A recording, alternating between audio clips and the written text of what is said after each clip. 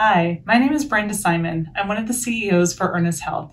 If you're watching this video, it's most likely because something unforeseen has happened to you over this holiday season, and you are now requiring continued care and our services. You can trust that we will commit to this time with you while you're in the hospital with us this season. The gift you will give to your family is more time for togetherness in your future.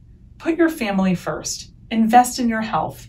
The short term sacrifice will reap long term benefit, and we'll do the cooking. We know that no one wants to be in the hospital over the holidays, but making this difficult decision now will help you work towards better quality days and future holidays ahead. We are always here for you. We don't take breaks in healthcare. We are committed to serving you any day of the year so that we can ensure that you're on the path to recovery for you and your family.